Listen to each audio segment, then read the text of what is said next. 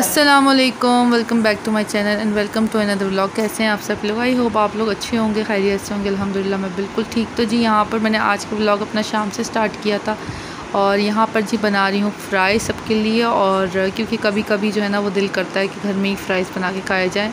बाहर से तो खाते ही रहते हैं, लेकिन आजकल मेरा फ़्राइज़ खाने को बहुत ज़्यादा दिल कर रहा है, पता नहीं क्यों। तो खैर उसके बाद जो है ना वो मैं खाना वाना बनाने के लिए आ गई थी किचन में और मैंने आज जो है ना वो मंगवाए थे आलू बैंगन। आजकल ना मैंने थोड़ी सी अपनी रूटीन चेंज कर दी है। मैं ना शाम में खाना बना लेती हूँ जो रात में और मतलब दोपहर तक वो फिर चल जाता है।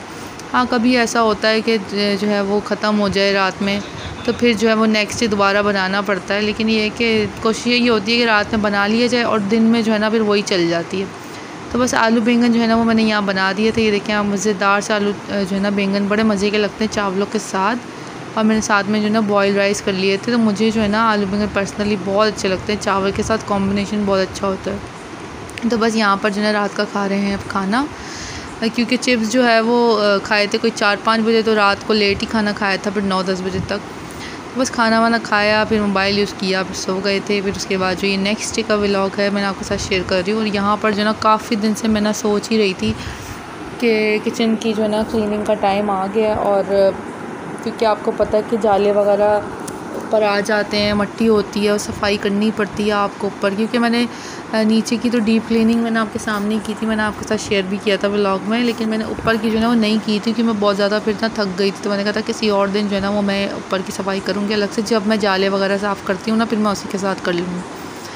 तो बस आज हिम्मत पकड़ के काफ़ी दिन से सोचते सोचते सोचते यकीन करें आप, मैंने कहा कि अब अगर मैं इसी तरह टालती रही ना कि कल करूँगी कल करूँगी तो कल तो कभी आने ही नहीं वाला।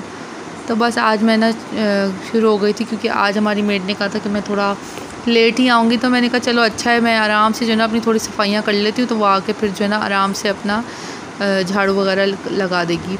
तो मैं फिर इस तरह मैंने ब्रश से जो है ना, ये ब्रश बड़ा अच्छा है, हम लोग लेके आए थे ना, बहुत पुराना ब्रश है हमारे पास। तो जो ऊपर जहाँ हाथ नहीं पहुँचता ना, ये आराम से चला जाता है और इससे सफाइयाँ हो जाती हैं। तो बस मैंने जो है ना, वो अभी अब्दुल्ला भी घर पे नहीं था वरना मैं अब्दुल्ला को खड़ा कर लेती, अपने साथ और ये पतीले वगैरह वो पकड़ लेता। तो मैंने फिर जो है ना वो बस चढ़ गई थी मैं सिल पर, क्योंकि मेरा हाथ भी नहीं जा रहा था तो मैंने कहा कि चलो स्लैब पर जो है ना खड़ी हो जाती हूँ ध्यान से, क्योंकि डर भी इतना लग रहा था मुझे, आप यकीन कर, इतनी स्लिप हो रही थी ना ये वाली स्लैब तो मुझे बड़ा डर भी लग रहा था पकड़ पकड़ के खड़ी थी, लेकिन सफाइयाँ करनी भी आपको पता कितनी ज़रूरी है ना।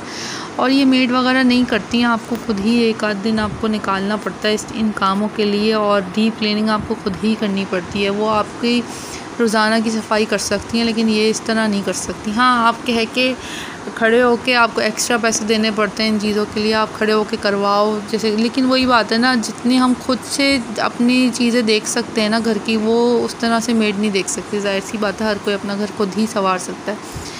तो खैर, मैं ऊपर खड़ी हो गई और इस तरीके से ये वाला पतीला तो आप यकीन करें, मुझसे हिले ही नहीं है, मैं मैं सोचूं मैं क्या करूँ, किस तरह इसको निकालूं, कि इसके पीछे भी सफ़ाई करनी थी, इतना ज़्यादा गंद हो रहा था। और मुझे इतना डर लग रहा था अब यकीन करें। मैंने कहा, यार, पीछे कुछ हो ना, पीछे बस कुछ हो ना, मैं इतने करीब भी खड़ी हुई हूँ, मुझे बहुत डर लग रहा था अब यकीन करें। बस मैंने ना अल्लाह का नाम लिया और मैं खड़ी हो गई। मैंने कहा, नहीं, सफ़ाई तो करनी ही आज। तो बस पढ़ते पढ़ते ना अब यकीन करें, सूरतें पढ़ते पढ़ते मैं यहाँ पर हटा रही थी पतीले डर डर के। लेकिन मैंने कहा, नहीं, हटाऊँगी तो फिर सफ़ाई कैसे होगी? तो बस मैंने फिर जो है वो इसको हल्का फुल्का खिसकाया और कर ही ली किसी भी तरीके से सफ़ाई, क्योंकि अब ये रह जाता पीछे, फिर सारे जाले रह जाए तो क्या फ़ायदा सफ़ाई करने का? और ऊपर भी इतनी मट्टी हो रही थी और बस फिर मैंने जो है ना वहाँ सफ़ाई कर ली। जो भी एक्स्ट्रा चीज़ें थी वो मैंने उठा के बाहर फेंकी जो काम की नहीं थी। आपको पता है, घर में इन तरह की चीज़ें जो है वो जमा हो जाती हैं तो फिर आपको डिस्कार्ड तो करनी पड़ती हैं, आपको देखना पड़ता है। दराज वगैरह ख़ाली करने पड़ते हैं। इसी तरीके से ऊपर कैबिनेट्स में भी जो भी सामान होता है बंदा पता नहीं, रख के भूल भी जाता है बहुत दफ़ा। तो रोज़ाना तो ज़ाहिर है, ऐसी चीज़ों की सफाइयाँ नहीं कर सकते हम। ये पंद्रह दिन में या महीने बाद ही ये सफाइयाँ होती हैं। रोज़ रोज़ तो कोई भी नहीं कर सकता। तो बस मैं इन कामों से फारिग हो गई थी और मेड वगैरह आई, मैंने उससे सारा काम करवाया। आपको पता ही जब ऐसे कोई काम होता है तो फिर गन जो है ना, वो डबल हो जाता है। फिर खड़े होकर आपको करवाना पड़ता है। मेड से वरना फिर सारा जो है ना, वैसे का वैसे ही रहता है। खैर मैंने खड़े होकर सारा काम वाम करवाया, फिर उसके बाद जो है ना मैंने यहाँ पर अपने लिए और अब्दुल्ला आ गया था स्कूल से तो मैंने उसके लिए रोटियाँ मंगवा ली थी उससे, और फिर मैंने जो है ना वो ये अंडे की यहाँ पे भुर्जी बनाई थी, और साथ में जो है ना वो मैंने दाल गरम कर ली थी। तो बस यहाँ पे हम लोग देख रहे हैं मूवी, और अब्दुल्ला और मैं यहाँ पे बैठे हुए हैं, और अब्दुल्ला जो है वो यहाँ पे अब थोड़ा रेस्ट कर रहा था टीवी वगैरह देख रहा था, मैं मैं भी बैठ गई थी साथ मूवी देखने में। और माशाल्लाह से इतनी प्यारी हवा चल रही थी ना, आपको पीछे देखे पर्दे हिल रहे, नज़र आ रहे होगा। बहुत बहुत अच्छी हवा चल रही थी, लेकिन इससे पता क्या होता है, हमारे घर में ना बहुत ज़्यादा मट्टी आ जाती है, फिर वो सिर्फ़ सफ़ाई हुई होती है ना, वो लगता ही नहीं कि सफ़ाई हुई हुई है। तो खैर, अम्मी यहाँ बैठी हुई हैं और वो भी सेब खा रही थी और मैं भी यहाँ पर शाम में सेब खा रही हूँ एक। और उसके बाद रात में जो ना, मेरा खाना खाने का बिल्कुल भी दिल नहीं चाह रहा था तो मैंने जो ना फ्राइज़ मंगाए थे, अब्दुल्ला भी लेकर आया था अपने लिए। तो बस यहाँ पर वो खा रही हूँ और फिर कहने लगा कि मेरा थोड़ा सा स्कूल का काम वगैरह कर दो। तो मैंने कहा कि लाओ, थोड़ा सा कर देती हूँ ज़्यादा नहीं करूँगी। तो थोड़ा सा ही था, एक दो पेजेस का ही था तो मैंने कहा बड़ा दिल कर रहा है राइटिंग करने का, लाओ तुम्हारे। या कभी कभी जैसे होता है ना, काफ़ी टाइम हो जाता है लिखे हुए तो दिल करता है कि भाई, कि बंदा थोड़ा सा लिखे राइटिंग करे। तो खैर बस इसी के साथ यहीं पे अपना व्लॉग भी एंड करती हूँ। आई होप आपको व्लॉग अच्छा लगा होगा अच्छा लगा है तो लाइक कीजिएगा चैनल को सब्सक्राइब कीजिएगा। मिलते हैं नेक्स्ट वीडियो में। अल्लाह हाफिज़ बाय बाय टेक केयर